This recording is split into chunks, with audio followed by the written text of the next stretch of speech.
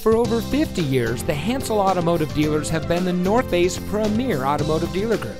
And here's another example of a great vehicle from our huge selection of quality pre owned cars and trucks.